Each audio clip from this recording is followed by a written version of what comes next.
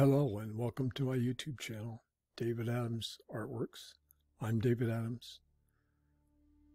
I'd like to thank um, Rafael Krux and Andrea Krux of Orchestralis for watching this video. Thank you. Rafael, I am impressed with your ability to turn sound into this magnificent music. It's uh, beautiful. What you do is beautiful. Andrea, when I first watched you sing, I was uh, mesmerized. I uh, it grabbed hold of my heart and it pulled me in uh, you have this amazing ability to, or skill, to transform your voice into this perfect musical instrument. And it's very admirable. Um, goosebumps. Um, I'm very pleased to be able to share the music of Orchestralis on my YouTube videos. And I will leave a link to Rafael Rafael's uh, YouTube channel and Andrea's YouTube channel in the description below. I'll also leave a link to their website, Orchestralis, where you could uh, enjoy their wonderful music. Um, as most of you know, this is my first appearance on on YouTube.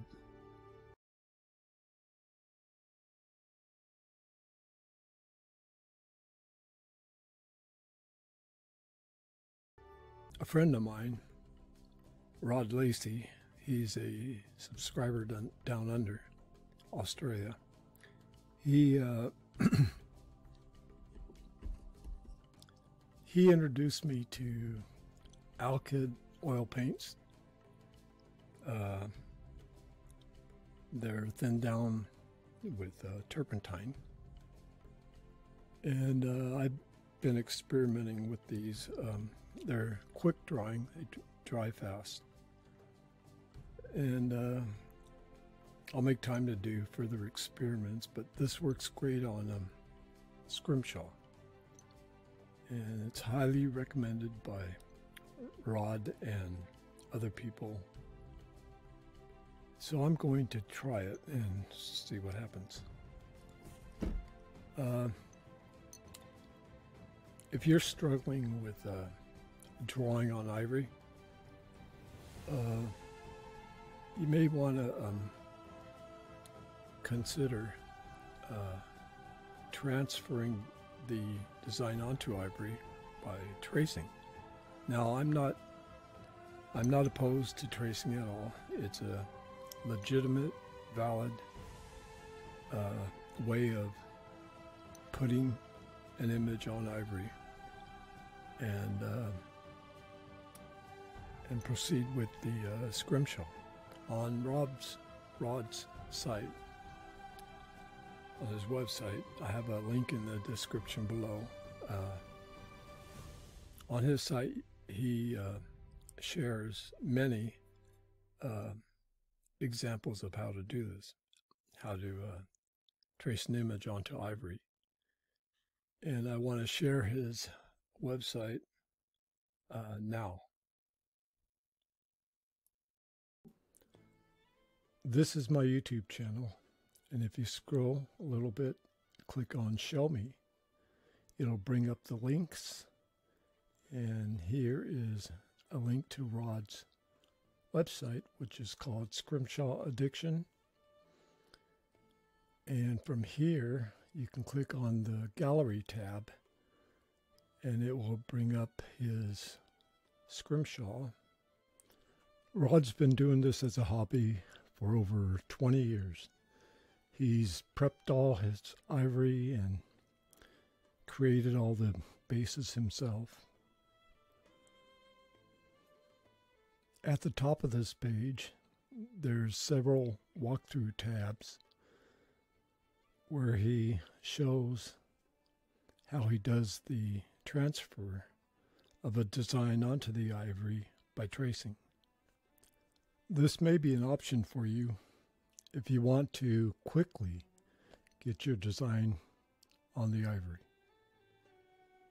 Well, this is a different day. Um, I checked my email. Uh, I published that uh, video of the uh, preview of the demonstration. And, um, oh, I want to thank Rod for his uh, generous donation. Thank you. And uh, when I do scrimshaw, I like to keep my piece elevated. And uh, the reason for that is, and at my elbows, I like to keep them elevated as well. Because uh, it's less stress on the back. Because when I work, I'm bending over. The the less I bend over, the less stress there is on my back. So I use. Uh, I forgot to mention this in the demonstration. For my piece, I, I use this to uh, rest the uh, ivory on while I work.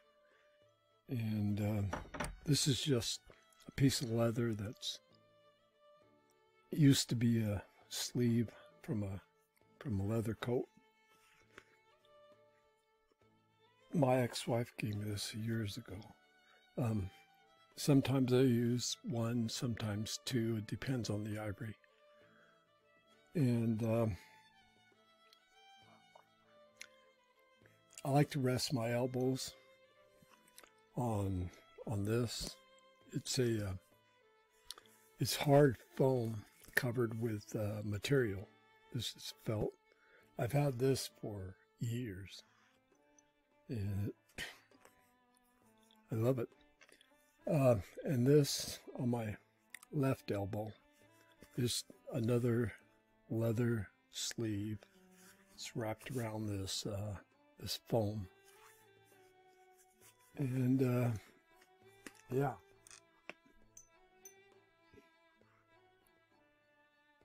I have tried a vise. I have a vise.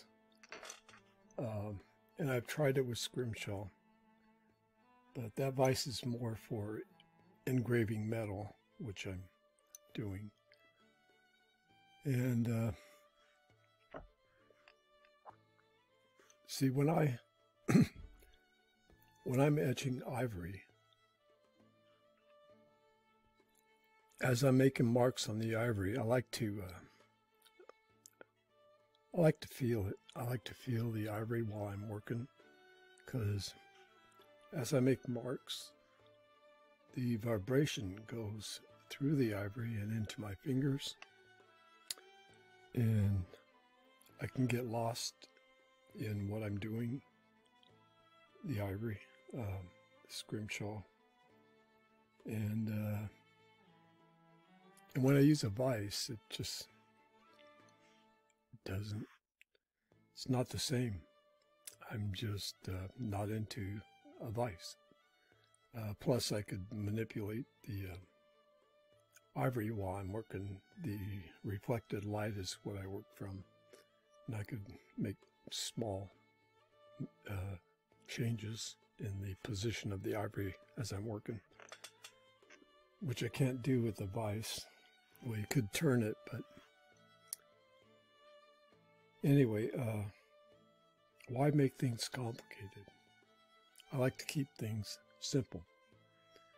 And uh, my graver, uh, I've never faceted a point. Why should I facet this point when this has uh, been good to me for years? And I'm running out of, um, this is my last graver. Actually, um, people are calling this scribe or scriber because when you go to look up graver, it doesn't bring up a, a tool like this. I'm considering buying a new one because this one is my last one I don't want to be without. And uh, I want to share um, a website on Amazon where you could um, see these scribes or scriber and uh, see if it's right for you. I'm I'm going to buy one. Uh, hopefully, I'll like it. But uh, yeah, um, got to get a new one. And also on Amazon. See, I just bought a sharpening stone on Amazon. It's uh, 1000 grit and I believe 6,000 or 8,000 grit.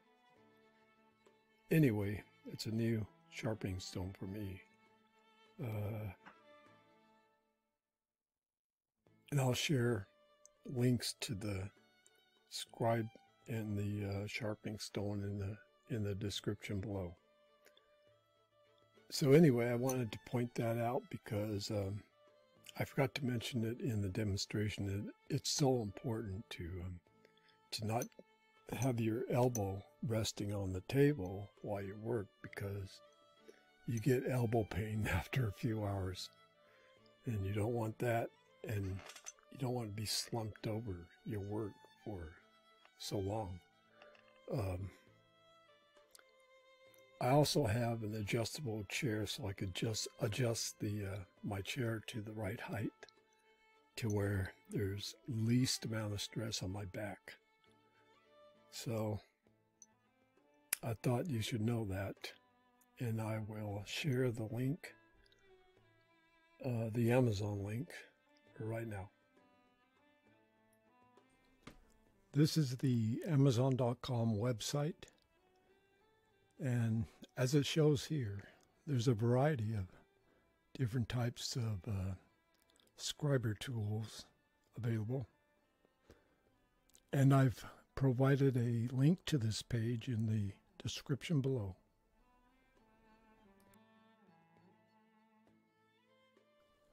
I've provided a link to this page as well. This shows the different types of um, sharpening stones that they offer, What they show here are whetstones, which requires water rather than oil. And in the description portion of all my videos, there's always a link to different tools you may need for Scrimshaw, inks, optimizers, etc.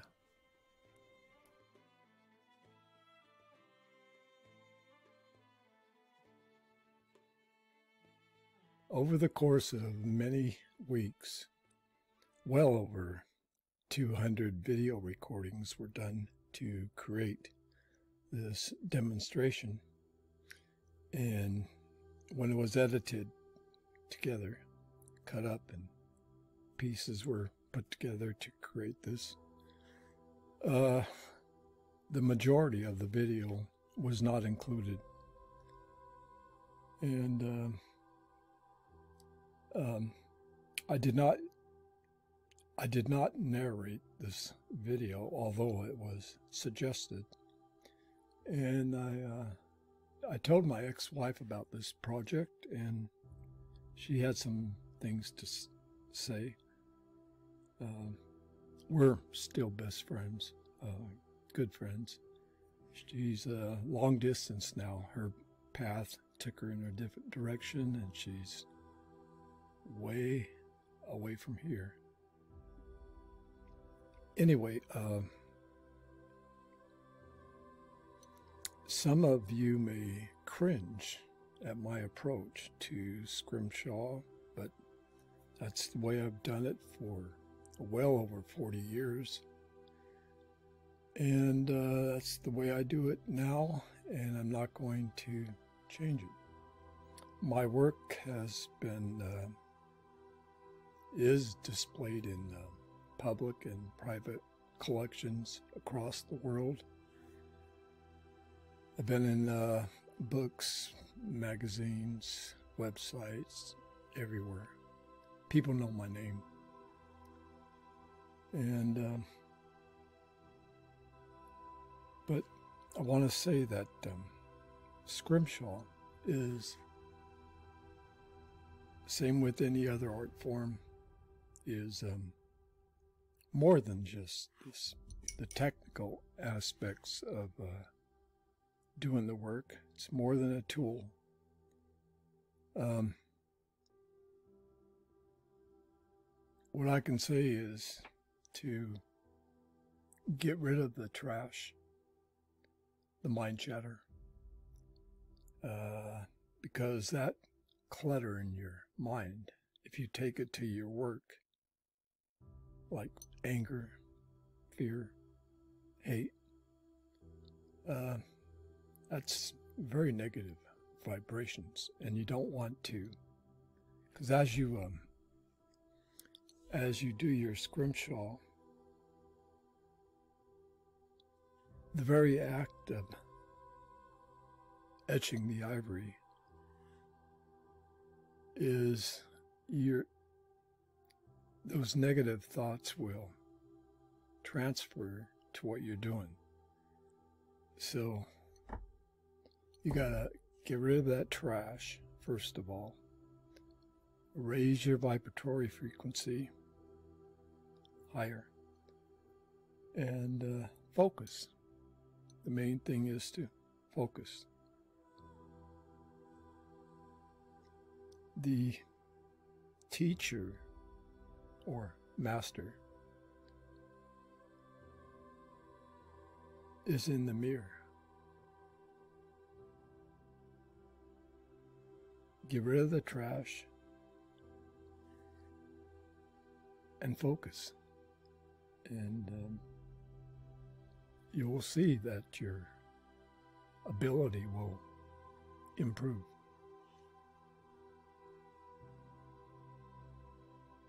So now, uh, you know a little bit more about me, uh, the man behind the art.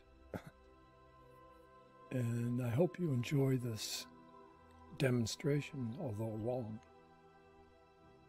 And uh, by the way, I'm currently I'm currently doing a, a mammoth scene. It's taken much more time.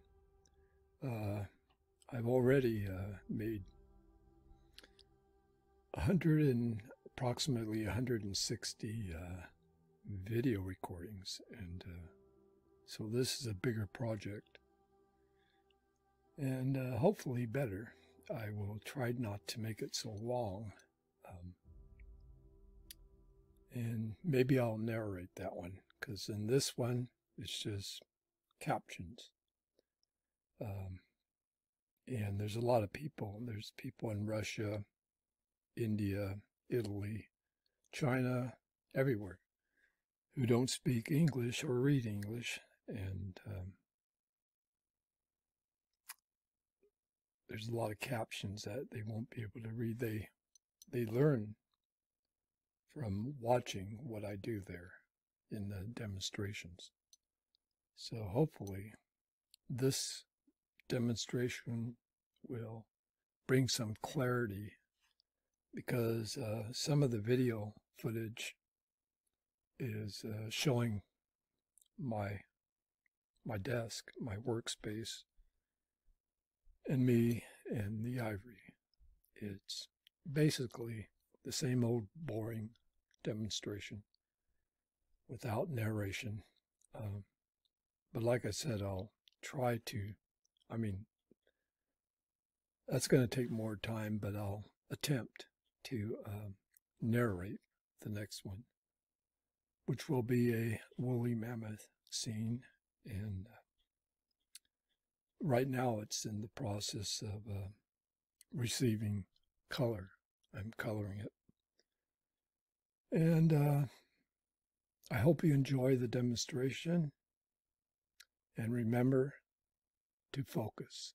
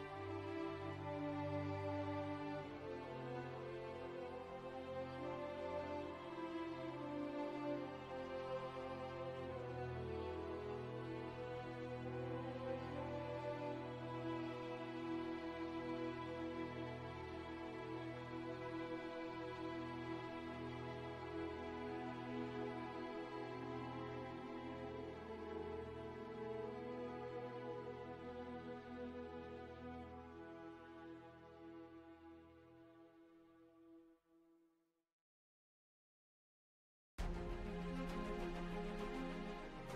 you.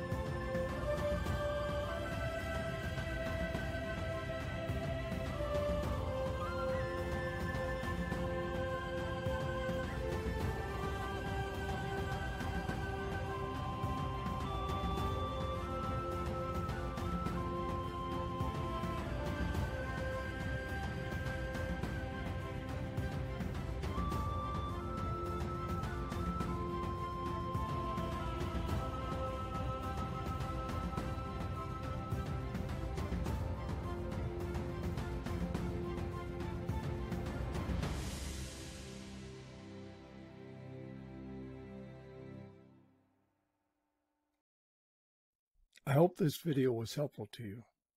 Please leave a comment or email and let me know how I might go about um, improving on this channel, David Adams Artworks.